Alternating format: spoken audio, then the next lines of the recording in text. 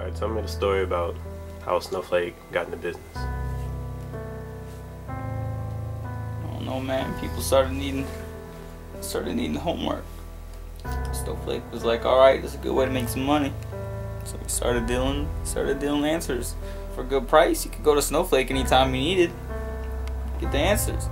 But sometimes they wouldn't have money. That's when we found out how ruthless Snowflake was. So, um, have you heard about Snowflake? Dude, don't say that name. He mowed on my customers' lawns. He killed a cow. He was all good little. He was it up. He's a burial. He's a this coach did play. He good in the restaurant. He's moved to shut You don't you don't mess with Snowflake. That's just the way it is, man. You don't cross it. What are you doing? I'm Snowflake! You wanna die today? Huh? No, sir.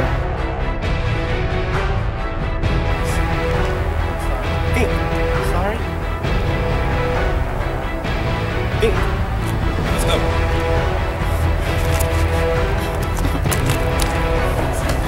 Jason, go! Have you lost your mind? Snowflake's not